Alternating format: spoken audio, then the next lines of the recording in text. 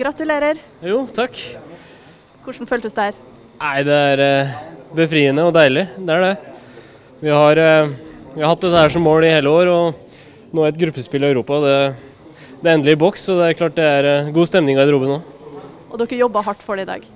Ja, vi, vi spiller ingen stor kamp med, med ball, men vi gjør en kjempejobb. Og vi har egentlig god kontroll på tingenes tilstand. Og, og vi har to mål å gå på når det, tida nærmer seg slutt, og at de får en på slutten, den er, er ubetydelig. Så veldig godt fornøyd.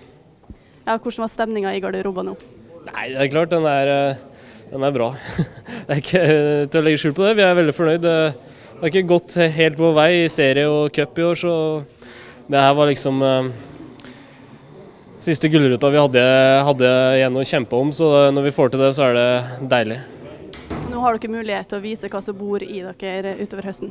Ja, nå får vi en del kamper utover høsten hvor vi får vist oss fram fra en litt bedre side, og det, det er jeg sikker på at vi får til, for vi er, vi er på gang.